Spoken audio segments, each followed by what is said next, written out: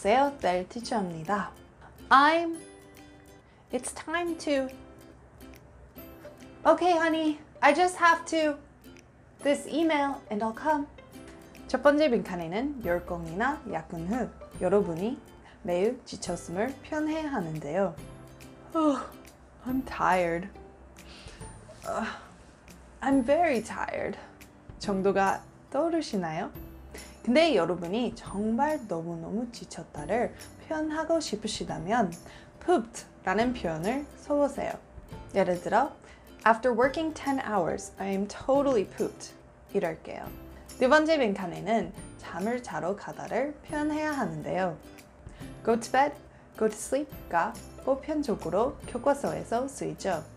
근데 혹시 hit the sack 이라는 표현은 들어보셨나요? 1800년대까지만 해도 사람들은 침대 마트리스를 건초에 부대어 넣어서 만들었는데요.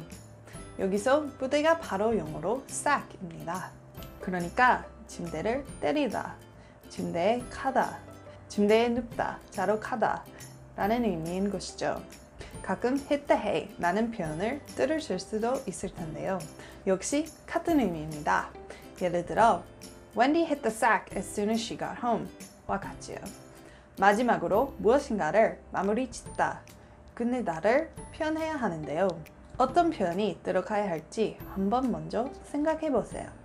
finish, complete 정도가 교과서에서 나올 법한 표현이죠. 근데 원어민들은 한 단어보다 두 개의 단어를 합친 글을 쓰는 것을 좋아해요. wrap up과 같이요. 무엇인가를 마무리 짓다라는 표현이에요. 예를 들어 wrap up that report by today 와 같이요. 자, 이제 빈칸을 제 문장을 같이 들어볼까요? I'm pooped. It's time to hit the sack. Okay, honey. I just have to wrap up this email and I will come. 영상이 도움이 되셨다면 좋아요. 다음 시간에 또 봐요. See ya later. A.